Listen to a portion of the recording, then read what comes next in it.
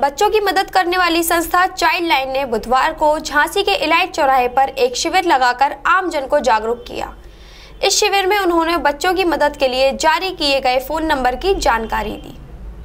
शिविर में मौजूद संस्था की सदस्यों ने बताया कि चाइल्ड लाइन बच्चों की मदद करने वाली एक संस्था है, जो बच्चों की मदद के लिए हमेशा तैयार रहती है उन्होंने बताया कि यदि कहीं भी बच्चों के साथ उत्पीड़न जैसी कोई घटना हो रही है या उन्हें किसी भी प्रकार की मदद की ज़रूरत हो तो उनके द्वारा जारी किए गए नंबर पर फ़ोन करके मदद ली जा सकती है।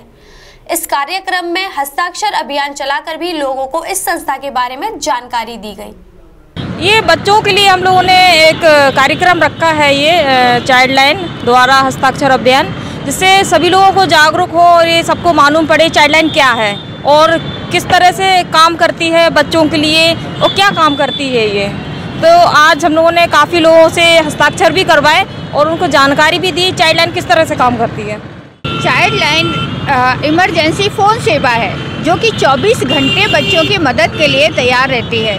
अगर कभी कोई बच्चा फ़ोन करता है कि हमें मेडिकल हेल्प की ज़रूरत है, या वो घर का रास्ता भटक गया है, या उसके साथ शोषण हो रहा है, या उससे बाल श्रम ज़बरदस्ती करवाया जा रहा है तो ऐसे बच्चों के लिए चाइल्ड लाइन हमेशा मदद के लिए तत्पर रहती है, ताकि उन बच्चों को मदद मिल सके। और ये निःशुल्क है, ये नंबर जो है, दस नौ आठ।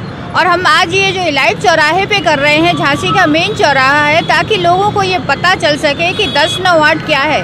जैसे पुलिस का सौ नंबर जानते हैं लोग इसी तरह से ये दस नौ आठ को जाने ताकि बच्चों को मदद मिल सके। न्यूज़ बीके के लिए झांसी से मनीष अली की रिपोर्ट।